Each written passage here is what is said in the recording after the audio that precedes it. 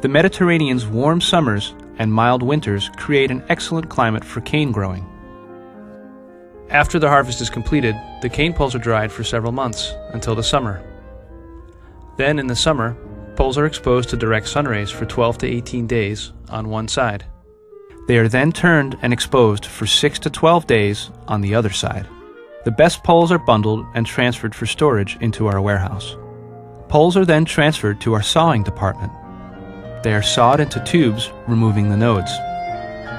Tubes are graded by diameter and wall thickness. After the grading is completed, the tubes are split into four pieces, called splits.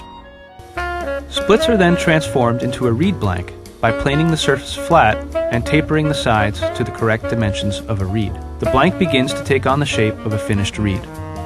Rico has developed sophisticated automated equipment using optical lasers to ensure that each blank is properly cut to exact dimensions. Millions of blanks pass under a color video inspection system to sort out any flaws in cane color and quality. Special polishing discs ensure a flat and smooth finish, essential for the reed to properly seal against the mouthpiece. Finally, a rough cut is made to begin the final stage of the reed making process.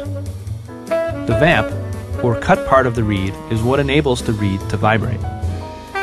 The Vamp is painstakingly designed to give players the sound and response required for a variety of musical styles. The Vamp process cuts the profile into the reed to precise measurements using specially designed natural diamond cutters. These cutters provide a glass-like finish and control dimensional accuracy to measurements smaller than a human hair. After the cutting process, reeds are then measured for strength.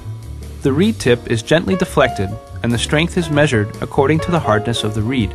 This is a critical step to ensure that reeds feel consistent. Reeds are then transferred to an automated packaging machine that performs a final video inspection under high magnification to sort out any flaws and defects. Reeds are then laser engraved with their logo and gently inserted into their plastic reed holders.